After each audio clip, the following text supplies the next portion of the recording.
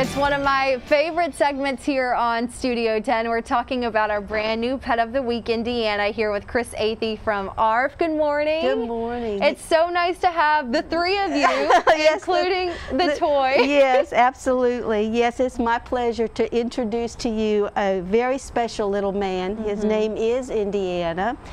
And Indiana was rescued in a ditch. Mm beside the interstate. So he he uh, he I, he's a little shy, but today he's very active. So which is great. I think he has a sense. He's on TV. It's his time it's, to shine. It's right? exactly right. We think he's probably a lab bull terrier mix, and uh, just a couple months old for sure.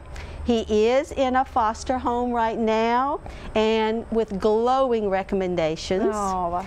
Yes, he's very playful. He loves his toys, and you see we had to bring his most favorite with him. So, so sweet, and he has been just so sweet. Now, do you think he would do well in a house with kids or other animals? Well, he would do wonderful. he, he, he, loves other dogs, oh. and we really wish that he would be in a home with another dog because mm -hmm. he just really needs to learn how to be a dog. right, know? right. He has been in a home with cats, so he, he would do fine with cats as well. He he, uh, he is already neutered. He's already uh, microchipped, up to date on all his shots.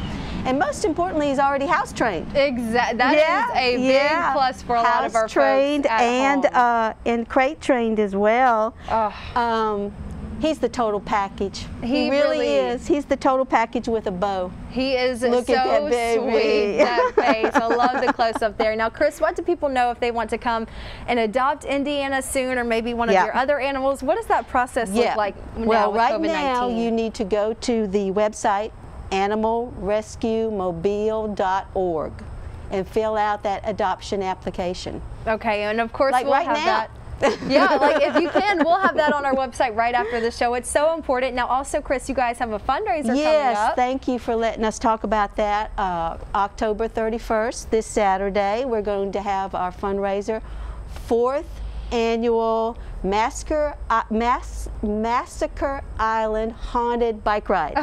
Oh, I love it. so the most important thing, though, is you know to go to our, our ARF Facebook page and make sure you register with Eventbrite because there'll be no one there the day of the uh, ride to register. All right, so make sure you go ahead and do that beforehand. Thank you so much for bringing sweet Indiana with yes. us. Again, he is just the cutest pup. So if you need a furry friend in your home, he will be perfect for you and your family. We'll have all the information on our website right after the break. Thank you so much, Chris. Thank you. Of course. Michael?